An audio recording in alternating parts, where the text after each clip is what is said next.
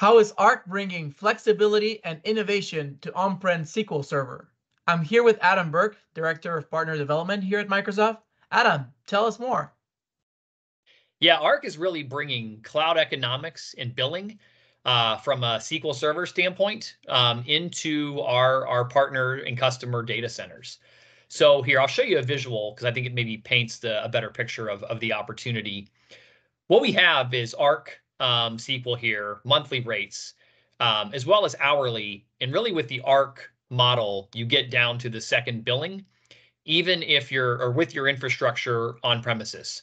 So partners that this may be very appealing for are uh, maybe in the SPLA ecosystem today and looking at how they can move from buying, you know, SQL for their customers via SPLA to actually helping their customers transition to CSP and selling SQL through Arc-enabled SQL to them via the CSP model can really drive additional cost savings and efficiencies uh, with down to the second billing, um, along with some additional innovation as well.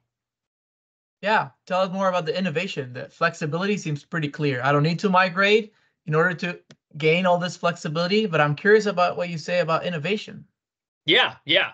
Innovation is great. So if we look at really innovation, you know, one of the questions that I heard a lot when I was a Microsoft partner was, is my infrastructure aligned to best practices?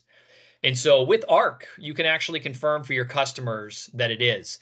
Um, you can make sure that from a security standpoint, from a configuration standpoint, that uh, SQL Server is is really set up the way we would recommend, um, and get real time intelligence if there's any changes that need to be made as well.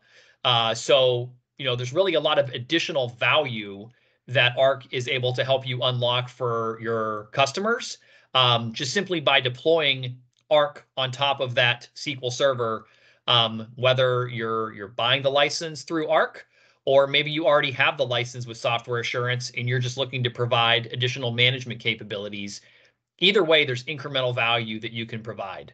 Um, and if you're a SPLA partner, I would definitely encourage you to check out um, our other video in this playlist around cost savings. Uh, Fede, I know we talk about it all the time, but it is it is super exciting to see what partners can save when they make this pivot. I've heard it's more than 30% depending on their incentives that they can earn. That's exciting. And if you, you want to see that, check out our playlist and tell us in the comments what you think about this flexibility and innovation that Azure Arc can bring to your on-prem SQL Server.